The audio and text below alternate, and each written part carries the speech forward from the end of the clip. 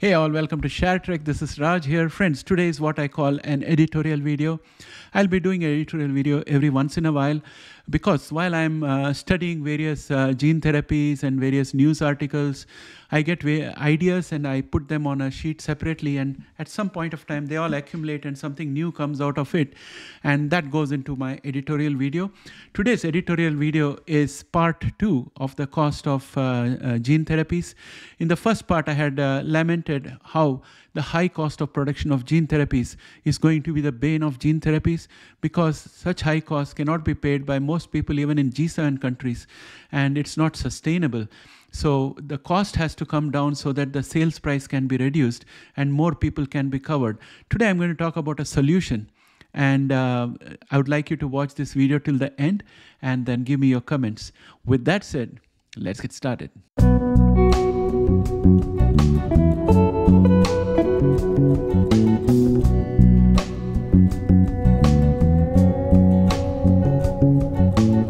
So, friends, uh, welcome back. Uh, I, I, was thinking about the recent successes Kymriah, uh, uh Zynteglo, and uh, Skysona, and very soon to happen exa-cel and lovo-cel. These are all priced very high, and even though they are priced high, uh, I think that in order to make profits, they'll have to uh, sell a lot of units and it's very expensive even for the payer uh, who is going to pay and insurance companies and also there is um, this question for a once and done therapy uh, how reliable is it that it's once and done?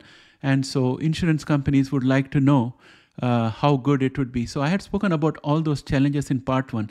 Today I'm going to talk about a solution. And the solution, I must say, with full disclosure, I'm an Indo Canadian. So when I talk about India being the solution, um, uh, you would understand where I'm coming from. So India has demonstrated its ability to deliver high tech at low cost, not only in the software sector, but also in space.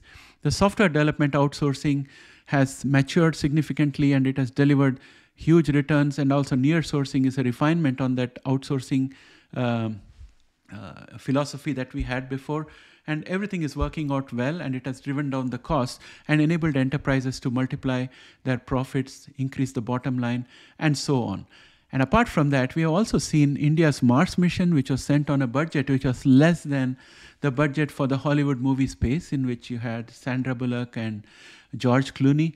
So uh, that that demonstrates the capability of India. And more recently, we had the Moon mission from India, which did a soft landing and also did a bit of uh, research with the Land Rover. Uh, that uh, which their uh, Vikram rover, which they had, uh, which went across the moon surface and did some sampling. So it all shows that India has the capability, and um, if you look at uh, the requirements of a clinical trial for a therapy, let us take the HIV therapy for example, or hepatitis B, it needs biodiversity. In India, there is the genomic diversity, the, uh, the amount of variation in the population is significant, and you have almost 20% of uh, the world population in India. So you get a very good sample size for all kind of clinical research, and it can be a robust footing on which uh, you could do uh, clinical trials. And uh, also, there are billions of people in Asia and Africa who will benefit from India developing itself as a research center for uh, genomic medicine. And also, if you look at the uh, necessities for being a, a, research center. You need highly qualified uh, personnel.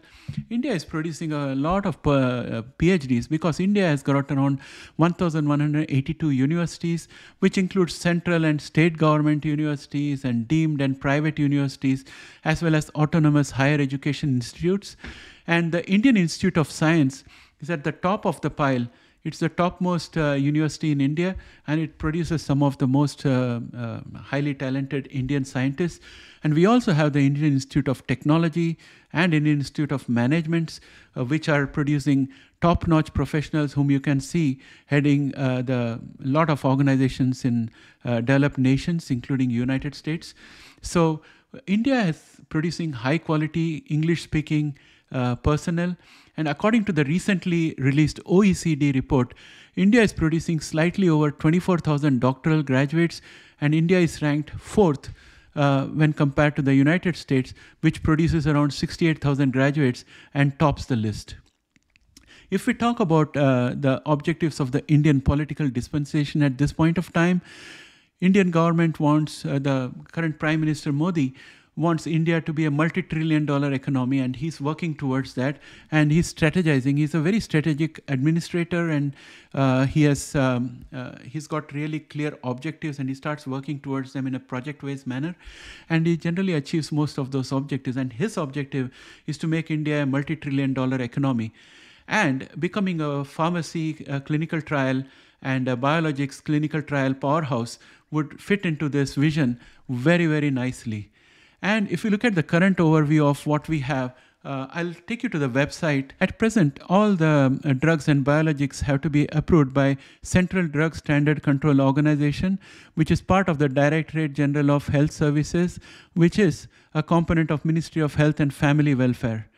And it has got a facility for a clinical trial, and um, it talks about various processes that are available, and there are PDFs to download uh, and get familiar with.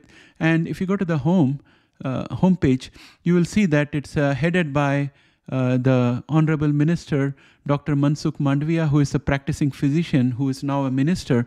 So it's a very good sign that uh, we have um, a physician uh, heading uh, this ministry.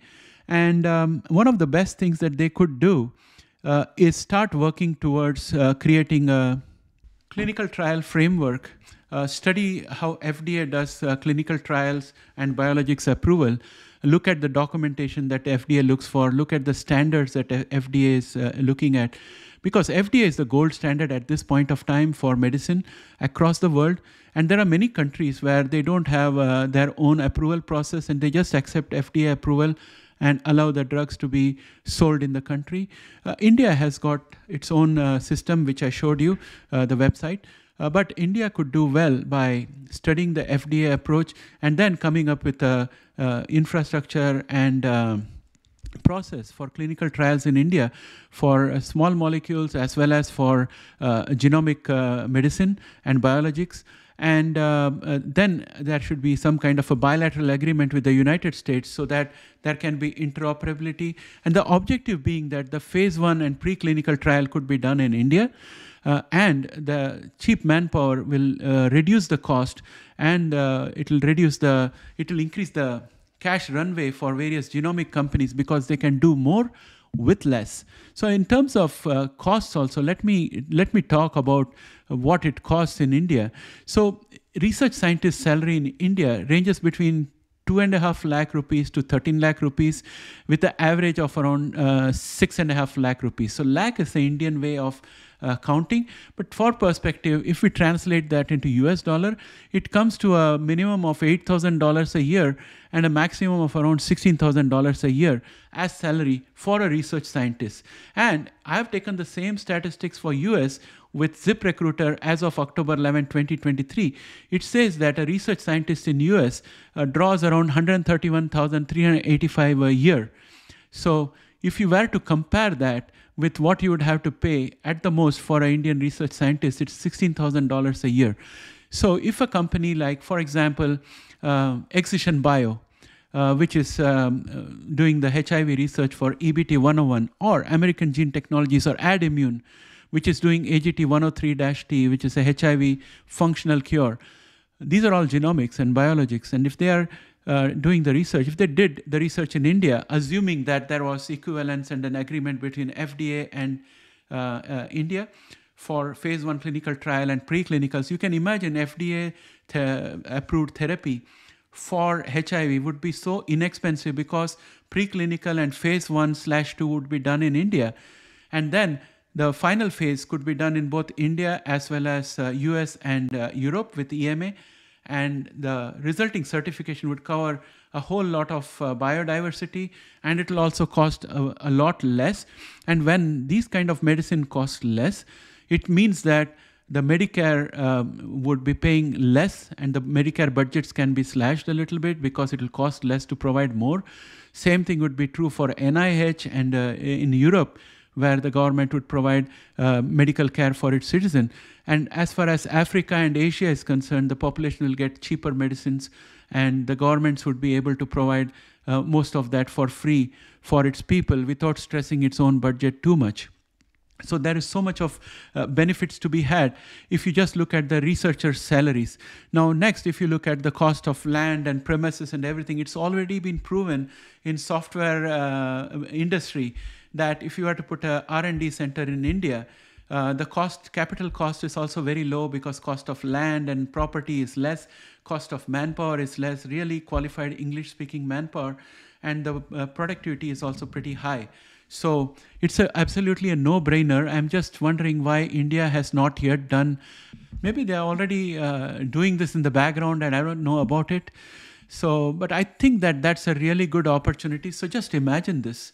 Imagine a future where, say, five years down the line, the government of India has worked out, it, it, sent a team to study how FDA does the clinical trials, and it has got a working committee and some kind of bilateral agreement uh, like the Artemis, for example, Artemis Accord, something like that uh, between EMA and uh, FDA.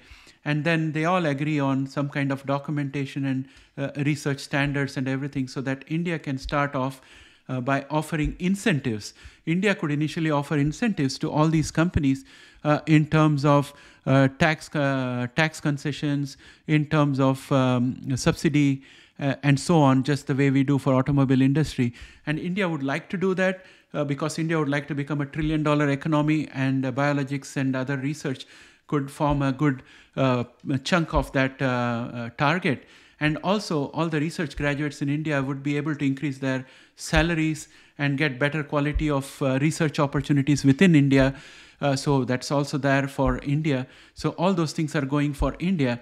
And as far as the genomic companies are concerned, many of them are running on very tight balance sheets and they've got shorter runway, cash runway. Instead of doing equity dilution, they could start uh, doing research in India uh, for preclinical as well as phase one slash two clinical trial. And uh, they would be able to um, have a wider pipeline because instead of throwing away uh, uh, candidates from their pipeline, which they thought was slightly risky, they could include them in the pipeline and do the preclinical trials in India and qualify them uh, to go further ahead. So overall, it's going to be a win-win for everybody. So friends, this was my idea. And uh, I'm going to be making the same video in Hindi and I would be requesting uh, the viewers in our Hindi channel to make sure that it reaches across to the Indian government so that um, if they are not yet started looking at this, they could start uh, working on this concept. Because I see a lot of prospects out there, and it's not a pie in the sky because we already done that in software technology with outsourcing, and we have demonstrated the capability in the space sector. So uh, already a lot of generics are being manufactured in India, and also India has got outsourced manufacturing for pharma. So I think it's a, a no-brainer. It has to happen sooner rather than later. I hope it happens sooner. So that's all for today, my friends. And I would like you to give me your feedback in the comment section below. Uh, it would be nice to have a discussion. Thanks and have a great day. Bye for now.